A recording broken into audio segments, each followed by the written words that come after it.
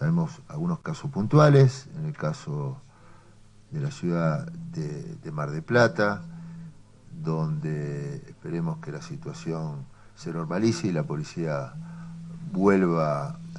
a sus puestos, las comisarías que en este momento no están prestando este servicio y yo esto eh, lo pido con toda la firmeza del caso y todo lo que significa que tengan conciencia de las consecuencias que puede tener actitudes en rebeldía de estas características. Así que eh,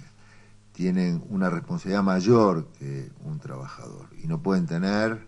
estos individuos eh, en vilo o de rever a la sociedad o tener que la sociedad en algunos casos puntuales tener que estar pensando con una profunda angustia y preocupación de qué manera pueden eh, generarse hechos que, eh, que no queremos que ocurran. Por lo tanto,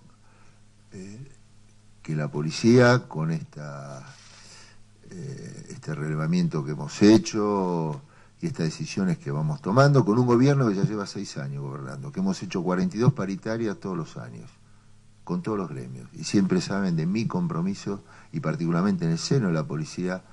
que aumentó el 320% durante estos años, por arriba, inclusive de otros sectores de la administración pública, y que tienen la responsabilidad de velar por el cuidado del patrimonio, de los bienes de las personas, de sus vidas, y dar eh, seguridad desde la previsión y que siempre este gobierno, como lo hacemos con todos los trabajadores, va a buscar en forma equitativa no responder a maneras intimidatorias, eh, emplazantes, extorsivas, eh, a eh, planteos que por más justo que sean, como cualquier trabajador, no pueden caracterizar conductas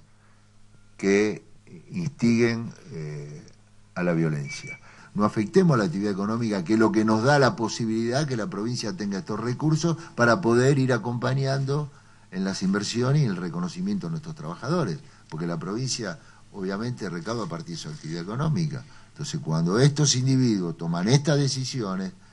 que algunos comercios toman estas medidas en forma preventiva, terminan perjudicando a lo que ellos mismos dicen estar este, reclamando.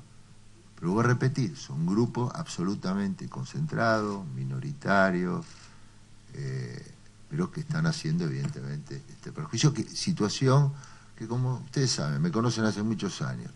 yo soy una persona comprensiva, amplia, con mucha paciencia, pero todo tiene un límite